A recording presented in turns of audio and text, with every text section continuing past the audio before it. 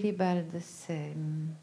Je pense que c'est trois histoires en une. C'est l'histoire d'un tableau qui représente le sacrifice d'Abraham, qui a appartenu à un certain Willibald, qu'il a emporté avec lui en fuyant euh, les nazis à, à en 1938 il l'emmène avec lui, il le plie, il le met dans sa valise.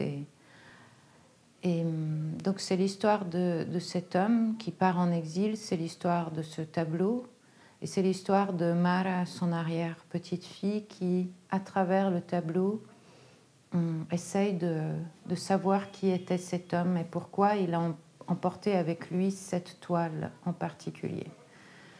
Et euh, c'est l'histoire aussi hum, peut-être de la question de la loyauté, euh, parce que ce tableau représentant le, sacrifice d'Abraham, euh, comment hum, lorsqu'un proche impose une violence, comme Abraham est sur le point de, sacrifier son fils, et que tel qu'il est représenté tel que son fils Isaac est représenté, euh, il est extrêmement passif et obéissant. Et donc, euh, à quel moment est-ce qu'on se rebelle en fait? Est-ce que, à quel moment, face à la violence euh, infligée, on se rebelle? Le, choix de ce tableau, en fait, est, ancré dans ma, dans mon histoire parce que j'ai ce tableau existe. Il a, enfin, j'espère qu'il existe encore, mais en tout cas, il a pour moi, il existe. Euh, en tout cas, il j'ai grandi avec ce tableau, en fait. Quand j'étais enfant, c'était un très grand tableau. Et j'ai passé euh, beaucoup de temps à le regarder parce que je ne comprenais pas très bien, en fait. Euh, enfin, c'était quelque chose qui m'interrogeait vraiment, le fait que un père obéissent à, l'ordre de sacrifier son fils. Le fragment, c'est hum, du tableau, parce qu'il y a aussi des fragments de photographie. J'avais envie de donner une, idée de comment le regard hum, se pose sur un tableau, en fait, comment il circule au sein d'un tableau. On peut le voir en entier, mais en réalité, on est toujours en train de naviguer entre un détail et l'autre la peinture et l'écriture sont,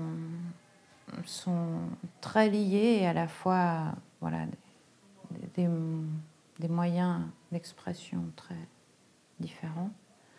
L'un appartient au, non-verbal, euh, à la forme, à la couleur, l'autre plus au mot. Euh, et en fait, j'ai arrêté de peindre à un moment donné parce que ce n'était plus un terrain de jeu. Je me sentais vraiment bloquée. Et euh, ça a aussi correspondu au moment où j'ai dû me plonger dans des archives familiales. Et, euh, du coup, bah, je, je, me suis mise à écrire. Mais maintenant, en fait, l'écriture éclaire la peinture, enfin, m'éclaire par rapport à ma pratique de peintre. Et je me rends compte, enfin, je me demande si dans le fond, j'ai pas toujours voulu faire un, grand récit avec la peinture. En fait, voilà, je crois que l'écriture m'a permis d'éclairer quelque chose que j'avais pas encore euh, vraiment saisi en peinture, qui, était, euh, qui est la question de la narration. Parce que comme j'ai beaucoup travaillé euh, à partir de photos de famille que j'ai reproduit picturalement, euh, je, crois que j'ai réalisé que c'est la question de la narration qui se cache derrière toutes ces images qui m'intéressaient, ces narrations qui sont transmises à travers les albums photos, par exemple. Alors, ici, il s'agit de Antonia qui a 79 ans, c'est une femme de 79 ans. Et pour moi, c'est comme si c'était une autre personne, parce que c'est une, enfin, c'est une autre personne en quelque sorte avec 50 ans, plus de 50 ans en plus. Donc c'est, c'est la même, mais c'est pas la même. C'est une autre personne. Et c'est comme en fait Antonia et Willibald, je, je, je, me, je, me, les représente comme deux feuilles calques qui se superposent, euh, où à la fois c'est deux histoires et il y a des endroits où ces deux feuilles s'entrecoupent et ça crée quelque chose de plus opaque.